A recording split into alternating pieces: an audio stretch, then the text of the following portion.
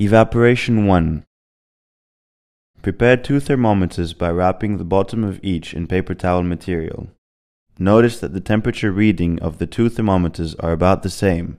Wet the paper towel material on one thermometer by dipping it into water.